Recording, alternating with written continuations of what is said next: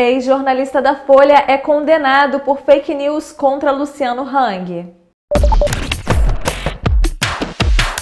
Olá, eu sou Tamires Andrade e este é o nosso É Notícia, com os principais fatos desta quarta-feira. Baixe nosso aplicativo disponível na Apple Store e no Google Play e receba as melhores notícias do dia. O Tribunal de Justiça de São Paulo condenou o jornalista Luiz Nassif ao pagamento de 20 mil reais ao empresário Luciano Hang.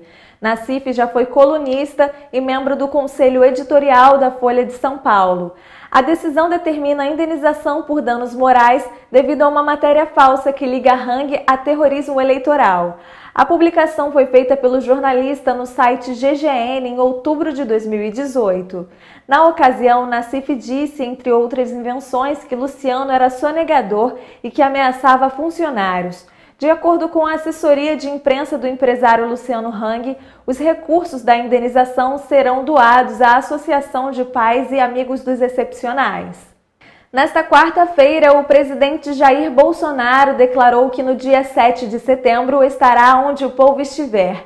A data em que se comemora a independência do Brasil foi escolhida por apoiadores do presidente para a realização de uma manifestação em São Paulo.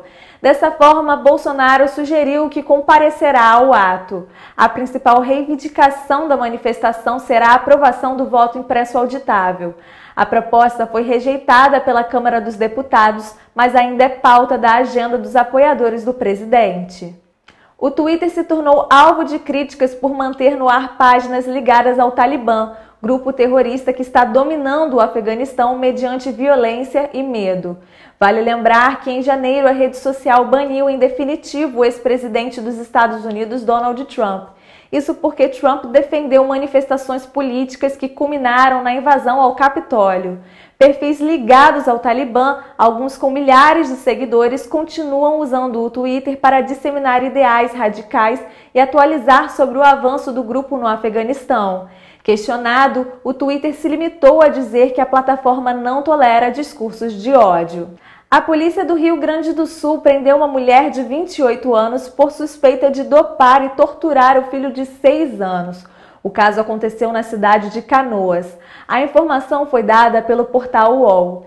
De acordo com a Polícia Civil, a mulher chegava a amarrar a criança na cama e castigá-la usando fogo.